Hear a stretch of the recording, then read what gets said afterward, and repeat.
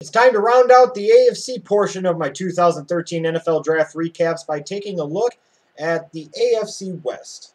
The Denver Broncos were clearly the class of the AFC West in 2012 beyond question. And, you know, it was just amazing how much everybody else in that division just paled in comparison to them in 2012. In fact, they surprised me a little bit just how good the Broncos were during the regular season at least and just how bad the rest of the division was. Now, with the Denver Broncos, with Peyton Manning as their quarterback and a lot of other veterans on the team, such as Champ Bailey, the bottom line is, is this is a team that has a very narrow window of opportunity, a very narrow window to contend and win a world championship, probably two seasons. So it's very easy for a team like that to ignore the draft and to go for veterans and really try to throw everything they have at it and try to just win now. And a lot of times, in my opinion, that's a mistake. Before the draft, you were hearing a lot of things and seeing a lot of things talking about that the Broncos were going to, in some particular order in the first three rounds, address defensive line, running back, and corner. That was going to be, in some configuration, what they were going to focus on in the first three rounds of the draft. I thought it was very wise to see the Broncos not sit there and trade away high picks for veterans because you do, in my opinion, need a balance on your team of veterans and some youth and talent as well. You don't want to have all young players necessarily because you need some veterans for leadership, and you don't necessarily want to have all veterans because you have an all-veteran team. They can be old, they can play a bit slow, and you need some youth and athleticism and explosiveness.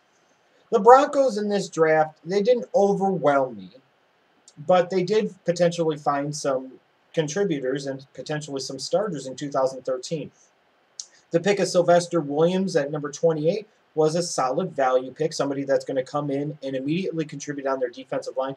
I was just a tad bit surprised they passed on a defensive end like Tank Carradine. Maybe if Bjorn Werner from Florida State would have been there at 28, the Broncos may have considered him. But Williams was a good value pick for where they were picking, and he filled a position of need. Some people, I think, were a little bit surprised that they chose Montee Ball, the running back from Wisconsin, in the second round. Ultimately, the team is built around Peyton Manning in the short term, and one way to protect Peyton Manning and keep him healthy is to give him the best running game you possibly have. And with guys like Knowshon Moreno and Willis McGahee, uh, you can't really count on either one of them to be the bell cow running back. So why not draft Montee Ball in the second round? You know, the only pick I really question out of the top three, honestly, was their choice of Kayvon Webster from um, the cornerback, excuse me. I just wasn't sure that he was necessarily the best player on the board at that particular time. I understood he addressed a position of need, but maybe there were better players that you could have taken at that point in time, especially better secondary players. All in all, this draft to me was just a, a C. Nothing terrible, nothing great, but the Broncos potentially have some contributors out of this draft in 2013 and beyond, which is something that a lot of times uh, veteran teams and teams that are trying to win now, they don't always get from their drafts. So not the worst the worst thing that could happen for the Broncos organization by any means. I bet you Williams and possibly even Ball will be starting by midseason for sure. The Kansas City Chiefs, I think, kind of had the the misfortune of being very bad in the wrong year. They decided to have the worst record in the NFL and end up getting the number one overall pick in a year where there was no clear-cut number one talent.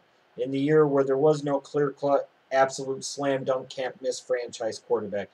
In a year where there wasn't any one pick that you sat there and said, yeah, you know for sure that that guy is going to be a Hall of Fame talent when you see him.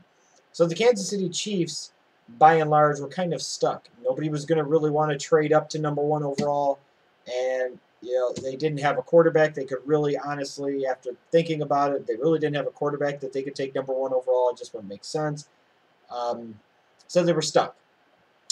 At least I will give the Kansas City Chiefs credit for this. They took the right left tackle, in my opinion. I think Eric Fisher has more upside. I think he's a superior athlete at the position. I think at times Joeckel's film is a little overrated because of Manziel's ability to scramble at Texas A&M. I think if you watch a little closer, Joeckel's good. He's not going to be a bust. He reminds me some of Matt Kalil um, as a prospect. But I just felt that Eric Fisher was a better prospect. So I do feel that the Kansas City Chiefs ultimately made the right decision in terms of if that was a position they were going to address, then they took the right player. Even though maybe the best thing to do wasn't take an offensive tackle number one overall. And you look at the rest of their draft. They gave up a second round pick for Alex Smith. Now that was dumb, especially when you look at the fact that Geno Smith was still on the board in round two. They took zero quarterbacks in this entire draft. And for a team like the Chiefs, you, you traded for Alex Smith. You gave up way too damn much for him. Then you signed Chase Daniel. So you're going to tell me your top two quarterbacks are going to be Alex Smith and Chase Daniel. And you thought those two guys were so superior that you decided at no point in time were you going to draft into quarterback in this entire draft. You weren't going to take Geno Smith in round number two. You weren't going to sit there maybe in round four, round three and take Mike Glennon, or in round four take a guy like a Barkley or a Nassib or what the fuck have you. Maybe you didn't have to give up that second round pick for Alex Smith. I'm just saying. So in some ways, you know, I was not a fan of this Kansas City Chiefs draft before the draft ever even happened because of the giving up of the picks for Alex But When you look at some of the other players, they gambled in the third round, taking guys like Kelce and Knile Davis. These are guys that have big upside, but they also have red flags, different types of red flags, mind you. I really like their pick of Nico Johnson as an inside linebacker from Alabama in the fourth round. I think he could potentially be a year one starter for them. It wasn't a horrible class. I mean, Fisher's going to be a really good offensive tackle. Kelce has the potential to be a starting tight end for them at some point. Knile Davis could be a great complement to Jamaal Tar Charles, excuse me. Nico Johnson could end up being a starting inside linebacker in their 3-4. It's a solid draft. I still think they will ultimately pay the price for not addressing the quarterback position at all and for giving up a second round pick for Alex Smith because the Chiefs will be improved in 2013, no question, but they're going to fool themselves into thinking that they're much better than they really are and they won't really be title contenders, so what the fuck's the point? You don't play to get to the wild card. You play to win championships. But as far as this draft, I'll give the Chiefs something like a C+. plus. Even though the Kansas City Chiefs ended up with the number one overall pick, I said before when talking about the AFC South draft that I thought the Jacksonville Jaguars were the worst team in the NFL in 2012. Well, you could almost as easily argue that perhaps the second worst team in terms of a roster standpoint, in terms of the way they played, uh, the second worst team in 2012 that was the Oakland Raiders. They were bad. And the bottom line is that's an organization that needs direction, that needs a vision, that needs a blueprint of how they're going to do things, and they need to be totally rebuilt from the ground up.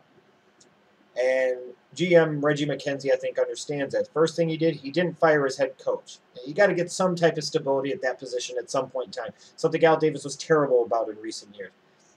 And McKenzie understands, you know, he has to make up for the bad the bad dumb dick trade for Carson Palmer. That was so fucking stupid. And that's what dumb organizations do. And for this past decade, the Raiders have been one of the dumbest organizations in professional sports, period. So now Reggie McKenzie, the general manager in this 2013 NFL draft, had to start the process of rebuilding the team and starting to fix some of the organization's previous mistakes over the past decade. Now, being able to go from pick number three move down nine spots and pick up an extra second round pick, the second round pick that you didn't have because of that dumb Dick Carson Palmer deal, was masterfully played by Reggie McKenzie. Was DJ Hayden really the 12th best player on the board, though? He definitely filled a position of need. He was probably a late first round talent. Was he worth the 12th overall pick, though? Eh. Would you have been better off maybe taking a guy like Sheldon Richardson at number 12? Maybe. Would you have been better off maybe taking Vaccaro at number 12? Maybe. But it's a heartwarming story that really pulls at your heartstrings with DJ Hayden. See what I did there? See what I did there? Uh, but I did like some of some of the other things that McKenzie did in this draft, getting Menelik Watson in round two. You know, him and Veldheer at tackle could be a very nice tandem for several years to come. Sio Moore, I love him in the third round. Yeah, you need to bring in some competition for the quarterback position. Get one of these young quarterbacks. Get Tyler Wilson in the fourth round. It's pretty good value. I happen to be a fan of Mychal Rivera. They have uh, a talent void at tight end, so maybe he could be a contributor at some point in time. I thought this was an, a nice, solid draft for Reggie McKenzie. It didn't knock it out of the park. I'm still not convinced that Hayden was the right guy to take at 12, um, but only time will tell there. And if he ends up being a Pro Bowl caliber player, nobody's going to give a fuck that he was taken 12th overall when people viewed him as a late first to early second round pick. Uh, with that being said, I will give McKenzie credit. I think he's he's off to a good start of trying to rebuild. They've got a lot of work to go though. I'll give him a nice C plus for this year's draft. To me, the clear winners out of the AFC West in this 2013 NFL draft were the San Diego Chargers. Now, for the past several years, A.J. Smith did everything he could to run this organization into the fucking ground, and by God, if that was the goal he set out to do, he sure as hell succeeded. Oh, I've got good players. I'm not going to fucking pay them. You'll go off in free agency. Am I going to really replace them in the draft or in free agency? No! You know, we'll just throw down some magic lightning bolt pixie dust and new players will appear that'll be even better and cheaper. It didn't happen, you dipshit. AJ Smith should have been fired like four years ago. Fucker was awful. You've got a new day there. You've got McCoy as the coach. You've got Telesco as the general manager.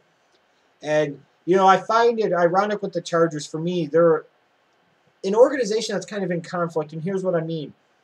Is they're a team that desperately needs to rebuild both on the offensive and defensive side of the ball but they have a quarterback in Philip Rivers that you don't really have the luxury to rebuild around. He's already, what, 32 years old? He's been in the league almost a decade now. You really don't have time to rebuild around a franchise quarterback that's 32 or older. So it's a very conflicted organization. But I do think that Telesco in his first draft with the Chargers did a phenomenal job, especially in the first three rounds. To me, when you can get three players – in the first three rounds that all in on my board carried first round grades, you've done a hell of a job.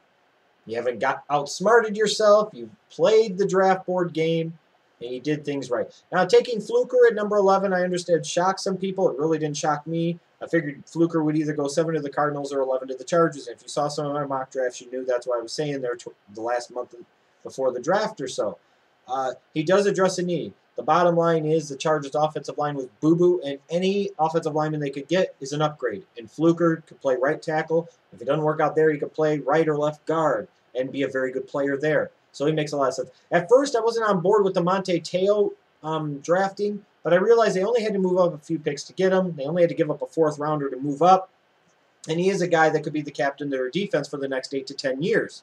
So, and at that point in time, a player with a late first round grade being there in round two, it made sense to move up and get him. And then getting Keenan Allen in round three, the wide receiver from California. I mean, he had a little knee problem, sure. He liked to smoke a little weed, but fuck. I would think you'd want to take him at some point in time in the first round. And the fact that the Chargers were able to get him in the middle of round three was stupendous. This was a very well played draft by Telesco in that Chargers front office. I gave him a solid B. I don't know about some of their later round picks, but the bottom line, they've got three future starters and three year one starters, in my opinion, in Fluker, Te'o, and Allen. This was a very good draft. If you're a Chargers fan, you have to be encouraged by the beginning of the Tom Telesco era. Um, that's kind of the way I see the AFC West. Next video, I will move on to the NFC side of things and talk about the good old NFC East.